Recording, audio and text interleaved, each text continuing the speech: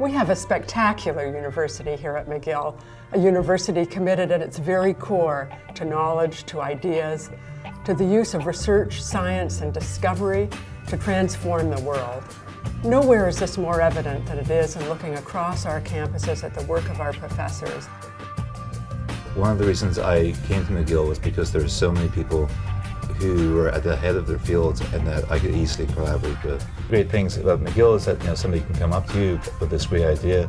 They're from a different lab in, in a different institute. You collaborate, you discover something very new, and then like within a very short period of time, you just open up a whole new field of environment. Research teaches me what's happening, what's, what are the issues, and what are we trying to do, how are we trying to solve the problem.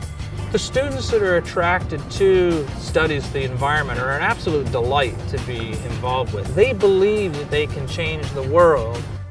Of course, history informs every part of what makes McGill the remarkable university that it is today.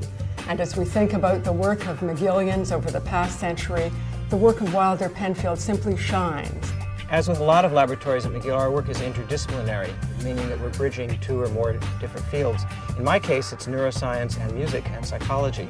And we're using music as a window into brain function because music activates nearly every region of the brain that has so far been mapped. Pour une jeune étudiante comme moi, de pouvoir combiner mes passions en recherche, comme les neurosciences, la neuropsychologie, les sciences cognitives et la musique, c'est vraiment génial. Meeting Ida Haendel was like meeting the entire history of music and the world from the beginning of time. Complexity colors virtually every element of our world today, from the quality of civil society to our social and economic development, our health status, and the quality of the environment. McGill professors, our students, and indeed our alumni around the world are working to create solutions to these challenges, and they're succeeding, and we're proud of them.